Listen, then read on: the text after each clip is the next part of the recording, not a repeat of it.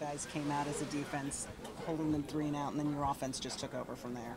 Um, I think it's always important to start fast. You know, um, when we start fast, man, we're tough to deal with, and uh, we get that momentum going and bring the energy and um, just get everybody going. That's our job. You know, when a, when a team decides to receive the ball, you got to be ready to go. So um, that's what we did, and uh, we just came out with energy. The offense took over, and we loved it.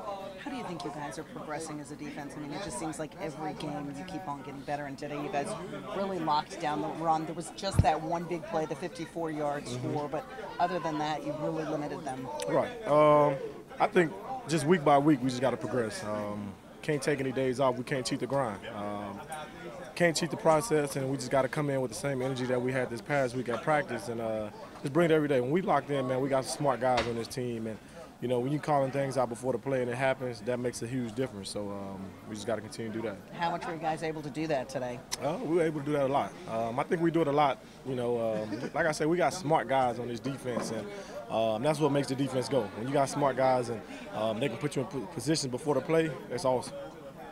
When the the offense is doing what it does and, and runs for 248 and keeps you guys off the field, it's, especially on a hot day like this, how much does that help? Helps a lot. Um, when you see those guys just going downfield, just mauling those, mauling the other defense, you know, you love it. Um, because I know it's been times we've been in that situation where guys just mauled us, and it's not a good feeling for a defensive player. So. Um, you know, I'm, I'm, I'm super proud of those guys. Um, 248 yards, man. That's that's a lot of rushing yards in the game against NFL defense. That's a good defense. So um, we just got to continue to come back and do it each week.